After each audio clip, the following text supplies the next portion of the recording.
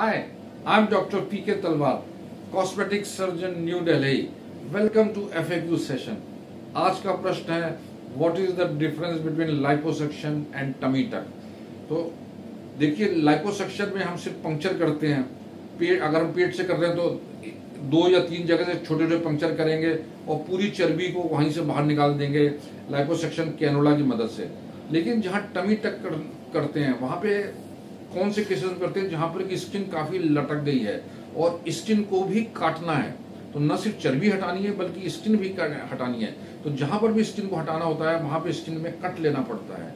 और जब स्किन को भी कट करते हैं तो वो फिर टमी टक कहलाता है उसमें। क्योंकि जब स्किन को हम काटेंगे तो उसके नीचे जो मसल्स हैं, उनको भी टाइट किया जाता है along with liposuction and skin को भी सूचर किया जाता है।